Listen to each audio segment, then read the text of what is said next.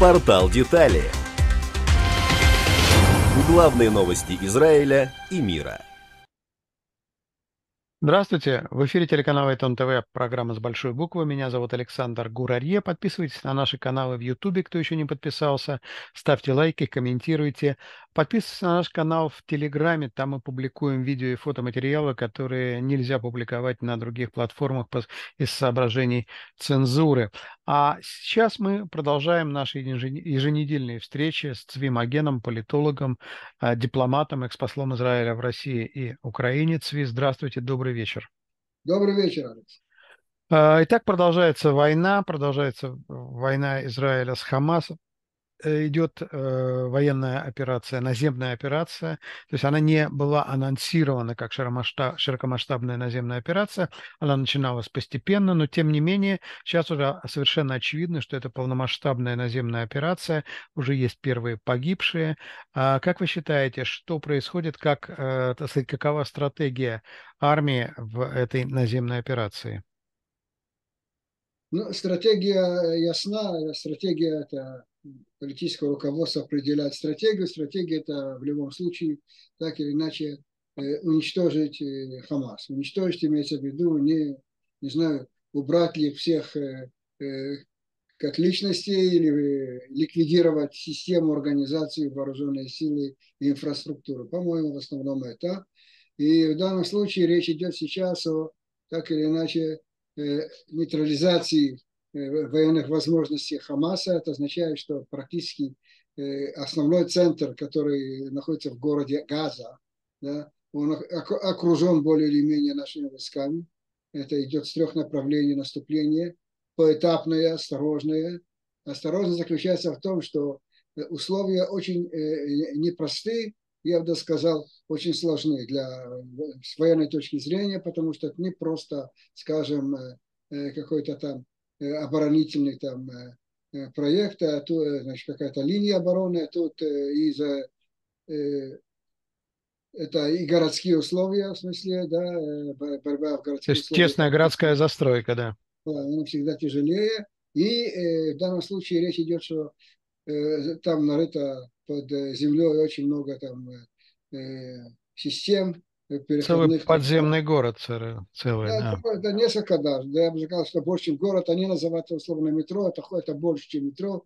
И оттуда так или иначе каждый раз или э, выходят на поверхность, или оттуда поставляют вооружение и так далее. И приходится все это ликвидировать. И надо для этого э, найти вот эти входы и выходы и воевать в условиях, э, в пещерных условиях подземелья. Это очень сложно. Но это делается и поэтому это идет, это не кавалерийская атака, так, с шашки наголо вперед все вместе, это тут э, сложные условия, и поэтому это ведется очень аккуратно, по-моему, очень-очень э, эффективно даже, я бы сказал, но это берет время, и mm-hmm. было принято решение, сначала не, не, не до конца понимали, но принято решение, что мы никуда не спешим.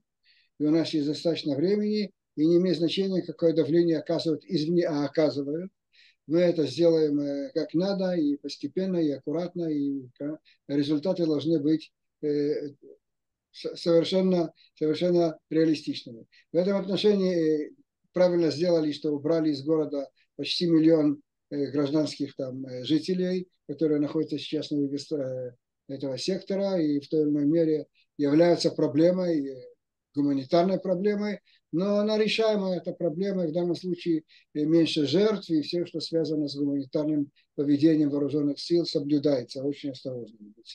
Это примерно общая картина. Конкретно э, это немало таких уличных боев, и э, штурмуют те или иные объекты, и у нас есть немало уже погибших. Э, у Хамаса, понятно, у нас нет конкретных данных сейчас, но там исчисляется очень большими цифрами. В конце концов, через определенное время э, будут налицо результаты. Хамас со своей стороны делает все возможное, чтобы остановить, воздействовать, оказать давление на Израиль, и поэтому э, весь мир э, хором оказывает давление на Израиль, что вот такие, всякие, плохие, и немедленно остановите. И задействована также, скажем, система давления или рычаг давления с заложниками, но она... Да, психологическая война. Да. И, но ну, она, по-моему, ясна, что ясно здесь в Израиле, что их не отдадут. Э, а если, да, и даже не будут вести нормальные переговоры об обмене и так далее до конца. Они нужны им, значит, руководству Хамаса, для того, чтобы так или иначе защититься в последнем там, э, на последнем этапе, и они mm-hmm. будут так или иначе принесены э, в, в, в оплату за сдачу или за оплату за те или иные, скажем, мирные условия, но до этого момента они не будут э, то есть все вот эти их призывы, а давайте обменяем всех на всех, а давайте обменяем. Вот сейчас пошла информация, что в Иране состоялась встреча руков... Э, представителей Хамаса и представителей э, Таиланда, поскольку там больше 20 таиландских а граждан находится в плену, несколько таиландских граждан убиты. Мы знаем, что один гражданин убит просто варварским способом. Это было показано, заснято самими хамасовскими, то ему просто мотыгой долго-долго отрубали голову. То есть это просто без... бесчинство и зверства. И Хамас говорит, вот пусть Израиль остановит э, военную операцию, и мы отдадим этих самых э, тайландских рабочих. То есть они теперь меня считают всех за идиотов. То есть, и в принципе это всегда работало, Свифт. Все эти годы это всегда работало. Что изменилось сейчас? Это призвано мобилизовать, так сказать, давление на Израиль, это психологическая война, но это так или иначе. Картина здесь ясна, и надо, э, надо к этому относиться осторожно, надо иметь крепкие нервы, чтобы вести вот этот вид, э, скажем, э, противостояния или конфликта. Это всегда сопряжено и с внешним политическим давлением, и с разными там гуманитарными э, вызовами. Но ну вот Египет, смотрите, Египет сначала не соглашался вообще открывать КПП, да, там они там чуть ли не стену возвели, подогнали БТР с той стороны. Сейчас вроде они поддались, значит, запустили часть, сегодня были открыты КПП, запустили часть раненых иностранных граждан, там сделали э, лагерь, э, ну, типа, воен... типа лазарета, да, то есть это, это давление американцев подействовало? И это тоже, это тоже. Это, между прочим, есть Э, постоянные контакты между израильтянами и египтянами достаточно, довольно дружат в египетские и израильские системы. Да? В частности, э, военные, военно-политические структуры в хороших отношениях. Египтяне боятся, что э, гражданское население хлынет в Синай, не захочет оттуда уходить. Поэтому uh-huh. она уже не впервые противостоит этим, скажем, проблемам, и газа им не нужна. У них своих исламистов девать некуда, они не хотят. Но вот такое временное там убежище для тех или иных тщательно отобранных э, или раненых, или иностранцев, они готовы э, этим самым они показывают, дают хороший пример и все, что с этим связано. Ну, вот такая но, ну, война. Но мы Это еще вернемся. Основная войны. Да. Война идет на, на, на линии фронта, э, очень непростой линии, идет противостояние военного вооруженных сил. А вокруг всего этого идет и психологическая, и политическая, как хотите, война, и весь мир принимает участие, есть для этого достаточно много причин, но это уже отдельный вопрос. Да, ну к египтянам мы еще вернемся. Я хотел бы перенестись на север. То есть мы с вами говорили в наших программах неоднократно, еще раз я это повторю, что дирижирует всем этим Иран. И э, Иран очень был заинтересован в том, чтобы Хизбалла тоже приняла активное участие. Но судя по тому, что мы видим на северной границе, то есть да, идут перестрелки, идут э, обмен ударами, есть пострадавшие с нашей стороны, есть погибшие, э, есть довольно много погибших со стороны Хизбаллы, но впечатление такое, что э, так сказать, к решительному бою Хизбалла все-таки не готова. Как вы думаете? Это не так. Иран не готов. И давайте поясним, что здесь происходит. Да. У Ирана э, очень не, не, не, невнушительные или несерьезные вооруженные силы по, по, по сравнению, скажем, все, с тем же Израилем, уже не говорю про другие державы. Да? Но у него есть э, система, очень эффективная система, называемая прокси или посланников. Это шиитские разные там организации, милиции и прочие, которыми окружен весь Израиль со всех сторон. То, что было сделано за многие годы. Это включает и Хамас, который не является шиитским формированием, поэтому его меньше любят, но он все же э, проирански настроен. Это Хизбалла, это Сирия, где находится достаточно много инфраструктуры, разных там милиций, не обязательно сирийские вооруженные силы, это там иранские формирования, это Ирак, и это, конечно, заходит аж до э, Йемена. И все они вооружены иранским оружием, в основном это ракеты разного толка и разных систем. И поэтому получается, что Израиль окружен сотнями тысяч ракет. Это основное оружие Ирана. И вопрос, понимаете, вопрос, окей, если идти на, на, на конфликт в полном объеме, получается, э, надо принимать решение стратегического только для Ирана. Это региональное, как минимум, противостояние. Тут появляются вдруг нежданно-негаданно Соединенные Штаты и их вооруженные силы заявляют, если Иран вы начнете, это, скажем, этот ход, мы отвечаем вооруженными силами, отвечаем э, военными действиями. И поэтому это их сдерживает. С первого же дня конфликта американцам было понятно, о чем здесь речь, какой интерес у Ирана, и же, и же с ним, а есть там и другие тоже присутствуют.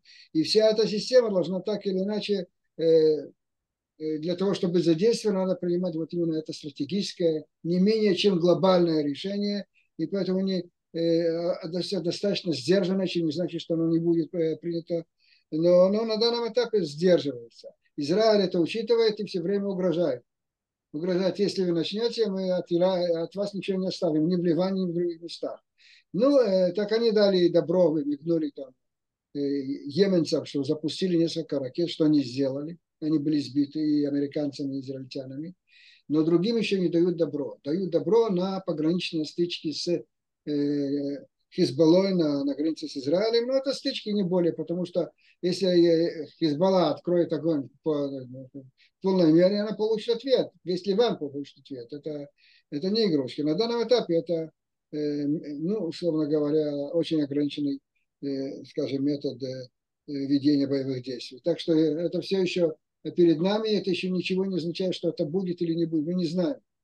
Никто не кстати, знает. Кстати, на пятницу, на ближайшую пятницу, э, если не ошибаюсь, на 3 часа дня по ливанскому времени намечено выступление шейха Насраллы. Мало того, объявляется, что вот до, до пятницы, до, 3, до 3 часов дня якобы Хизбалла предъявила Израилю очередной ультиматум, что если Израиль не прекратит военную операцию в Газе, то, значит, вот шейх Насралла выступит и что-то скажет. Ну, мы подождем до пятницы, до трех часов дня. У него проблема у этого шейха. Да. И могут быть проблемы со здоровьем. Но, но он скажет, ну что, в военных э, вопросах э, лучше не говорить, а действовать. Ну, неважно, это отдельный вопрос. В любом случае, на данном этапе нет такого решения ни Ирана и, скажем, его партнеров. И э, ждем, не дождемся, какое решение примут. По-моему, они, им, им, им ясно, с кем они имеют дело. Израиль настроен очень решительно и доказательства на местах. Да? Израиль решает вопросы очень жестко, не обязательно э, истерически, он э, никого не боится, не, я имею в виду сейчас, ни в военном отношении, ни в политическом. Поэтому разные там крики и, и сабунтаи, и разные там другие антисемитские выходки на данном этапе не действуют. Тут, в конце концов, говорить это одно, а вот, э, да, решать вопросы на поле боя не все готовы. Даже Хизбалла тоже не понимала до конца, с кем она имеет дело. Она выполнила свой, э, свой долг в какой-то мере или свою участь. И в, в, в этой, скажем, как минимум региональной операции. И оказалось, что на, на этом дело не кончается. Надо, в конце концов, э, потом отвечать за это, что происходит. А я, я не знаю, что было у них в умах. По-моему, они не до конца понимали э, Во что они влезают, да да, объема всех реакций. Ну, это с этим ясно.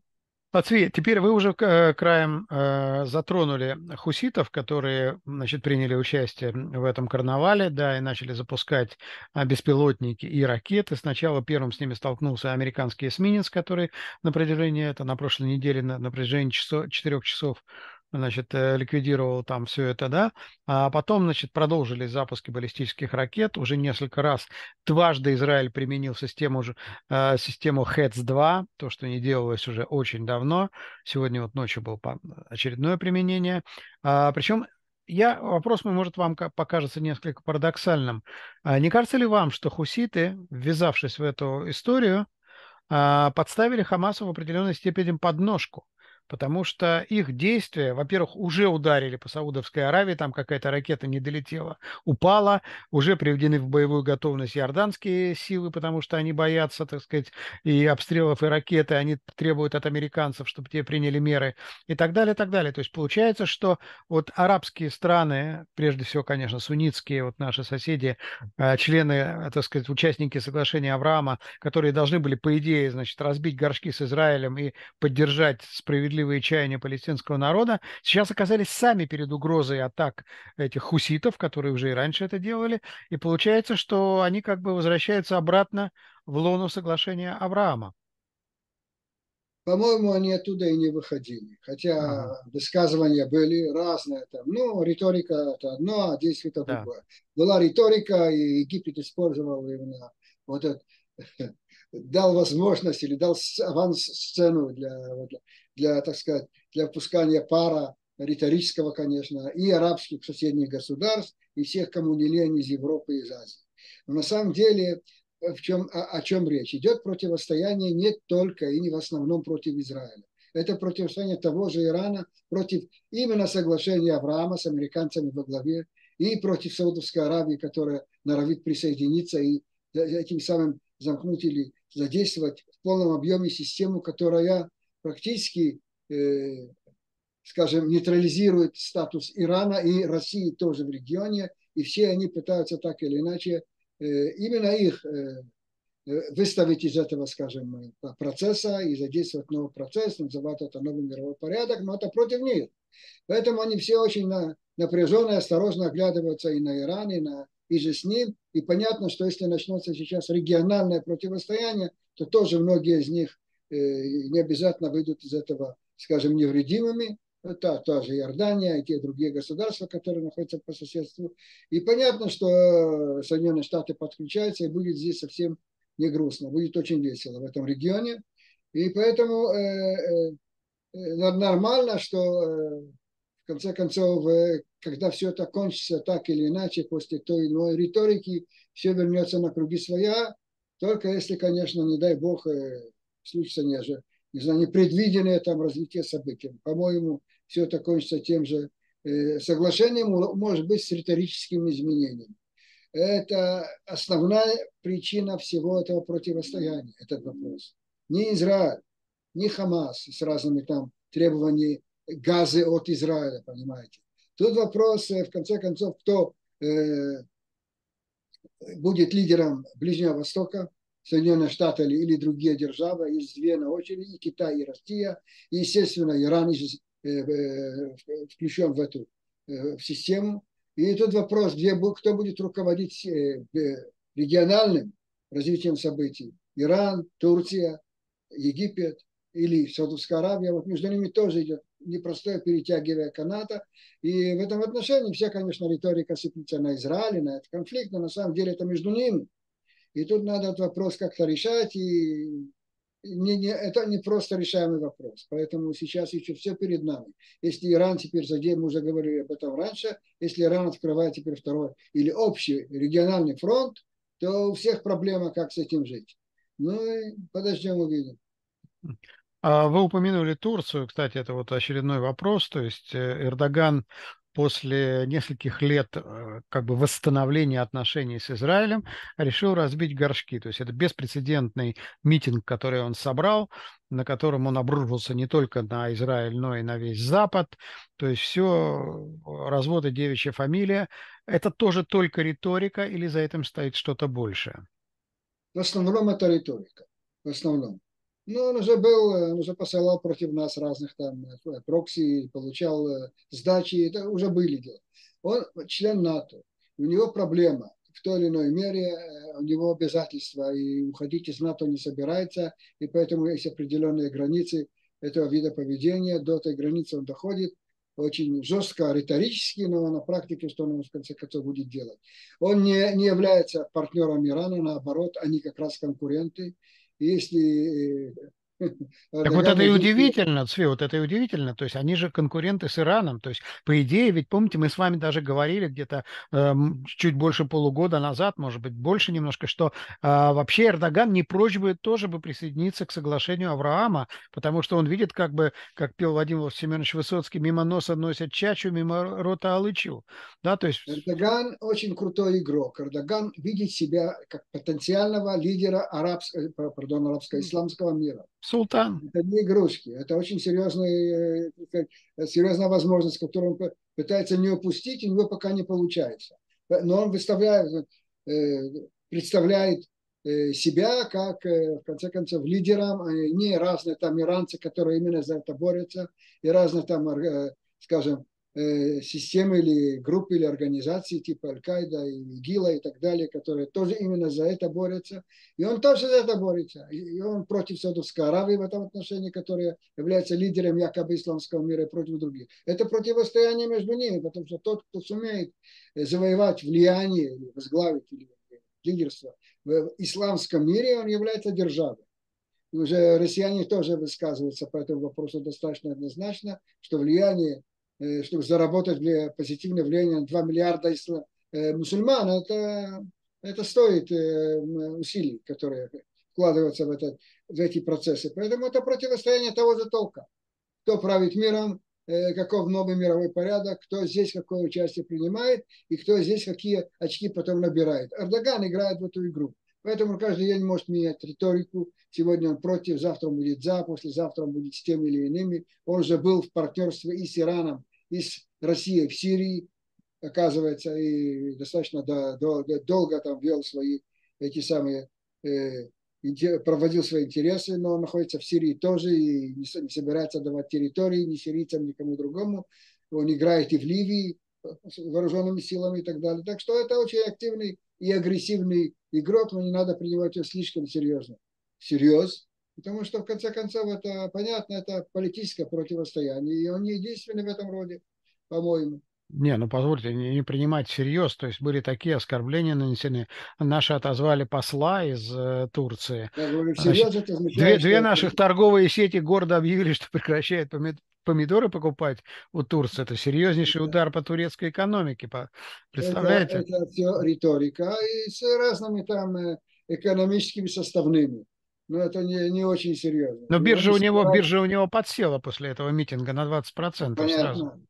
У него, что, теперь у него проблема, потому что он должен выбирать. С одной стороны, риторика дает ему какие-то очки на внутреннем так угу. сказать, рынке своем. Да, он, у него выборы на носу, он да, собирается, муниципальные. И, собирается отдавать э, престол другим, и для этого ему нужна, с одной стороны, исламистская риторика, он достаточно да, много в этом вопросе, э, так сказать, уже действовал в прошлом, и ну, им нужна хорошая, нормальная экономическая, политическая э, ситуация в этом отношении противостояние. Да? И он мечется из угла в угол и посмотрим, где он остановится. Не надо всерьез иметь в виду, что кроме риторики, что он может сделать? Вмешаться в это противостояние, конфликтовать с Соединенными Штатами, которые не дадут ему ничего делать, кроме как ну, То есть послать это... корабли, допустим, на выручку бойцам газа он не сможет? Ради Бога.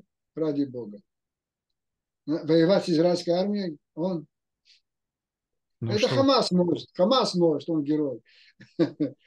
Не, ну тур, тур, турков, турков сильнейшая армия, по крайней да. мере, в НАТО, например, в европейской, одна да. из самых сильных. Я буду теперь описывать, какие возможности есть у израильских вооруженных сил. Ну, надеюсь, надеюсь, до этого не дойдет. Не а, дойдет. Поэтому я говорю, это все риторика последний вопрос, продолжая разговор про, наши, про нашу войну и про нашу риторику, и не про нашу риторику. А, всплеск антисемитизма в России, всплеск истерик на а, федеральных каналах. Я вот видел отрывок из очередного там Соловьиной трели, когда он там, Соловьев просто завелся о том, что вот как, как вы можете бомбить, там, убивать мирных жителей, там Яша Кетмин там вякал, пытался что-то сказать, он его заткнул как мальчика и продолжал нести такое околесице, что мы даже и фашистов спасали, мы даже мирное население Германии, там вот когда немцы затопили метро, мы их спасали, это явно из фильма «Освобождение» он подчеркнул, видно, смотрел в детстве, но неважно, то есть вот то, что происходит, ну и следствие Махачкала, то, что произошло в аэропорту и так далее. На ваш взгляд, это случайный всплеск или это целенаправленная политика? чтобы Соловьева снять с повестки дня, Соловьев работает на кого-то. Понятно, что у него хозяева, который дает ему список проблем и вопросов, которые он должен публиковать. Да, и, и градус истерики заказывает, который он должен там учинить. Да, и он делает достаточно эффективно. Наша русская армия никогда не да, бомбит мирные города. Хотя... Мы никогда не убиваем мирных. Там камера ну, показала нет. этого генерала Гурулева, он даже офигел так, от такого, типа такое нес там. Ну, неважно, человеку хорошо платят. Проблем. Да. У России с евреями вопрос, потому что в конце концов э, э, антисемитизм это там ничего нового нет, это уже давно, уже лет э, сколько, 150, это, так сказать, так или иначе является составной российской политики, российской, советской, потом какое-то затишье, потом снова всплеск. Как минимум, как минимум последний год есть добро на антисемитскую риторику.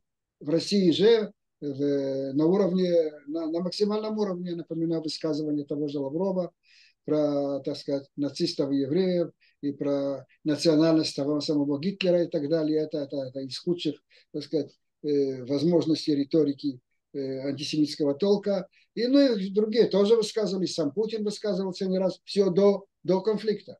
Из, из этого следовало уже понятно, у кого элементарное понятие обстановки, было понятно, что это так или иначе Россия что-то там э, готовит. Понятно было, что-то вместе с Ираном и другими игроками, потому что нет антисемитизма с, с, с советских времен и далее самого по себе. Это всегда Израиль. Когда начинают гонять, ругать евреев или там что-то такое, то понятно, что это да, Израиль и евреи это одно и то же, и поэтому имеется это в виду.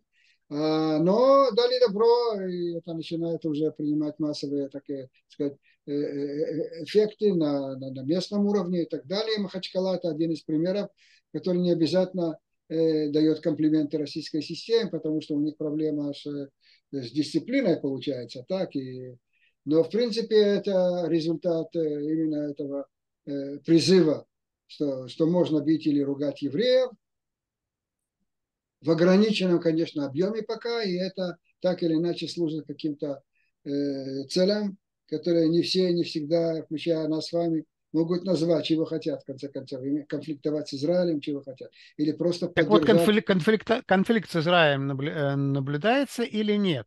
То есть в Сирии продолжается сотрудничество или нет? То есть чего они добиваются? Ну, на, на данном этапе все э, разыгрывается очень осторожно. По-моему, у России нет интереса конфликтовать по-настоящему с Израилем. Есть интерес продолжить этот процесс, в котором Израиль существует и принимает очень активное участие, но у России интерес выгнать отсюда американцев, остановить или застопорить то, что мы уже говорили. Это по э, соглашение Авраама, не допустить Саудовскую Аравию к этим э, новым возможностям, не дать возможности построить эту линию, э, которая начинается там, новую линию, э, то, что называется поезда через Саудовскую Аравию в Израиль и так далее. Это идет линия в обход китайской линии, в обход российским возможностям. Это поставки энергоносителей, это поставки чего хотите из Индии через государства э, Аравийского полуострова, через Израиль в Европу. И это им очень э, невыгодно. Поэтому все это надо остановить, изменить и создать новые условия, в которых Россия занимает не последнюю роль это вообще. А, кроме этого, существует еще, конечно, это вот риторика насчет будущего ну, мирового порядка, где фигурирует понятие как глобальный юг, и где сотрудничает, мы говорили об этом, и Россия с Китаем и другими там государствами, БРИКС, что называют, и так далее, это еще не, не означает что-то реальное, и это имеет какой-то эффект э, в дальнейшем. Но на данном этапе это составная риторика, которая так или иначе является внешней политикой России. Добавляю к этому, что Россия находится Э, в конфликте с Соединенными Штатами и всем Западом, коллективным который. Это и с НАТО, это на, на, на Украине, в Украине, но на территории Украины идет противостояние именно э, глобального толка, в конце концов, до этого дошло. И поэтому в России э, в этом, в этом конфликте есть интересы расширить, скажем, противостояние, создать очередной второй фронт. Но это ему удалось. То есть риторика да, сейчас такая... Да, про Украину забыли. Свою долю, так сказать, внес и выполнил, так сказать, то, что от него требовалось. Задействовал или раскрутил, если хотите, этот конфликт. А теперь вопрос, кто набрал больше очков до данного этапа. По-моему, Россия и Иран набрали немало очков сейчас. Да. А что будет дальше, это хороший вопрос. Ну, Россия сейчас будет поставлять какое-то, ведь говорят, что визит этих самых главарей Хамаса в Москву, где они там с Богдановым обнимались, это часть как бы сделки, то есть они хотят в обмен там на якобы э, вы, отпустить российских граждан, и в обмен на это они просили определенные виды вооружения, оружия, то есть прежде всего системы ПВО и так далее есть, есть не все там до конца понятно. У России есть свои граждане в, среди заложников, но есть свои граждане, кроме этого, в секторе газа. И они хотели бы их освободить, не все понятно, не все гладко в российской же системе. Между собой кто-то там не уживается. Я имею в виду действительно структуры типа министерства этого или этого или этого. Они между собой соперничают. В этом отношении идет какой-то там э, вид переговоров с Хамасом отпустить и не отпустить, но это не есть основное. Россия хочет в той или иной мере принять участие в политических реалиях э, э, в результате этого конфликта. Это означает, что она хотела бы вести э, переговоры по вопросу заложников, но это у нее много конкуренции. Это и Египет, это и Турция, которая заявляет, что она готова все это проводить. Россия хочет, ну, как минимум принять участие, если не больше, в вопросе, скажем, мирного процесса с палестинцами, Израиль-Палестина, и они все время повторяют эту риторику на данном этапе. Но не только они, и Китай хочет, и, и арабские государства хотят, и Турция хочет. Все хотят принять участие, Россия тоже. Поэтому непонятно, как далеко она зайдет. Она свои очки набрала, и она не против, чтобы, было, чтобы разгорелась там региональный или больше конфликт. Но кроме этого, она в отношении Израиля и, и же с ним в регионе хотела бы так или иначе, э, получив свои Э, прибыли, очки и так далее, все же остаться в, услов... в этих нормальных условиях, потому что если не будет Израиля в этих процессах, э, не с кем говорить. Нужно как минимум вторая половина для всего этого. И поэтому она не собирается, конечно, рвать отношения и портить. То есть вы считаете, что не будет ухудшения отношений между Израилем и Россией? Они уже есть? Они уже есть. Поэтому Россия использует риторику типа антисемитского, антисемитского толка. Это против Израиля, но это не явно. Это вот учтите, мы можем хуже. И это в той или иной мере, это контакты с Ираном и поддержка Хамаса, это все нормально. Она поставляет конечно, вооружение, все, что с этим связано, но вместе с тем оставляет открытой калитку, чтобы можно было вернуть все на круги своя, как было в прошлом, или как, как минимум частично. Ну, по крайней мере, общественное мнение в Израиле настроено таким образом, что после окончания войны отношения с Россией не могут быть прежними. Об этом говорят очень от, в открытую, как бы, и как бы все время с оглядкой на Россию там не поставлять оружие в Украине. Тем более, что Это все равно правда. Россия на всех, на всех перекрестках обвиняет Израиль в том, что Израиль поставляет давно, и типа вот, а, а мы за это вот, да? Ну, это уже, это уже прошлое, это уже история. Все, что было по вопросу Украины, и весь этот треугольник Украина, Израиль, Россия, по-моему, к этому уже не вернуться, как, как было в прошлом. Но что-то новое, тут еще непонятно, куда это идет и как это будет выстраиваться. Но тут э, у России непростой региональный и глобальный вопрос, который они попытаются решить э, в той или иной мере. И не все дома гладко у них. У них там идет непростое противостояние, и они присоединяются к разным там фейковым новостям насчет здоровья Путина, но идет противостояние разных группировок, я уже давно забыл про Пригожина, надо уже э, упоминать других, но это возможно, это реально. Поэтому там не все просто. И этот конфликт так или иначе влияет на интересы разных группировок, поэтому это сказывается и на наших вопросах тоже. Спасибо. Спасибо большое. Свим Аген, э, политолог, э, дипломат, экспосол Израиля в России и Украине, старший офицер военной разведки в отставке. Спасибо. Всего вам доброго и берегите себя. До свидания.